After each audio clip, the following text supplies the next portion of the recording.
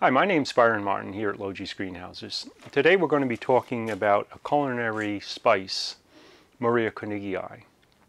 This is a spice that's used in Southeast Asia, primarily in India. It's a native there. The part that is used are the leaves. It's in the family of Rutaceae, which is the family of citrus, so it has a close relationship to that. And its culture is very similar to citrus in that um, we have to be um, cognitive of our watering when grown in containers. However, it's a little bit easier to grow um, in pots than citrus in the sense that um, its root system is a little more resilient. There are three different cultivars of Murraya koenigii. Uh, this is the variety called Regular, which um, came to us uh, many years ago from seed from Trinidad, from the Indian community there.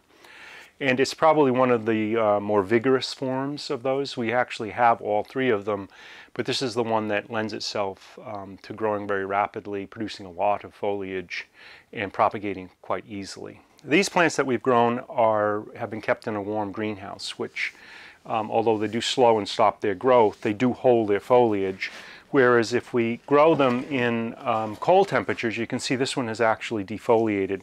Uh, this is another form that came out of India uh, to us by a seed, and it's a much slower grower than our regular form.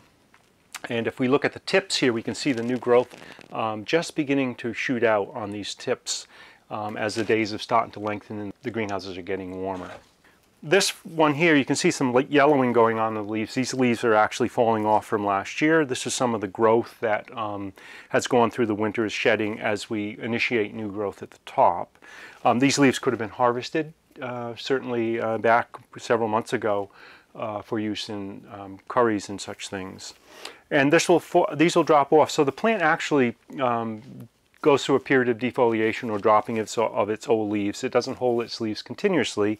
Those are the bottom leaves are the ones you want to harvest, although oftentimes they'll use fresh leaves to kind of mix the flavors on that. Uh, what happens with these plants is that they will go into bloom, and a little plant like this will actually start to flower. A flower bud will form probably this summer or even early in the springtime, uh, clusters of blooms will form, white flowers, and then the plant will actually branch and make uh, a fork, and it starts off going in different directions. You could encourage that by simply pinching the top tip out, and you will get a bushier plant on it. But the nature of the plant is kind of up, this particular variety is kind of upright and open and loose, and there isn't much you can do about that other than pruning it back. If you're going to go through pruning on that, you don't want to do it in the wintertime. And as we mentioned, there are some issues with growing curry or the Murraya um, in containers, and most of that is related to root diseases. They have a susceptibility to it. So we, what we want to do is make sure that particularly in the wintertime, that we really bring that soil to a state of dryness. Now this this soil here is starting to dry, but there's still moisture left in it. In that case, we would want to leave that plant until really we look at that top surface and the soil is pretty much dry. It can even put it under a little bit of drought stress. And for that period of um, October, November, up until you start to see this awakening happening, you want to make sure you run them a little bit on the dry side you can damage the roots and it's not easy to get them to come back from that, although that's not an impossibility.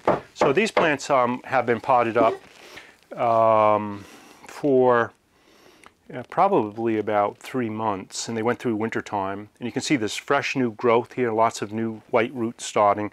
That plant is well on its way to, to becoming a very vigorous plant. And that's what you're looking for. If there was root rot in here we would be yanking on some of these and they would be all brown and falling apart and um, and then you know you've got a little bit of an issue. And it, although plants don't really die from that root disease, it does slow them down and obviously the objective here is to create as much foliage as possible. When we grow them here at Logee's, we grow them under both warm greenhouse temperatures and cold or cool greenhouse temperatures. And we bring some of the houses where we've kept them down to 40. At that point, you're going to see a lot more of this defoliation during the wintertime, yellowing. The plant is actually going to um, become yellow and leaves are going to fall off. Critical to make sure you don't overwater them. And believe it or not, you can actually defoliate them under those cold conditions and they will regenerate out of that. We often see, you know, a flush of new growth comes in the springtime as they wake up. So thank you for watching today. There's a little bit of information on how to grow and culture Murraya koenigii or the curry leaf plant. If you'd like more information, you can go to our website at logees.com.